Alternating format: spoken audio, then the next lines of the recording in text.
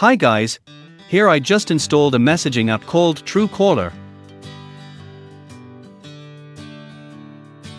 And want to make it the default messaging app on my Android phone. If you also have the same intention, let's do it together now. First, let's go to Android settings. Open the apps menu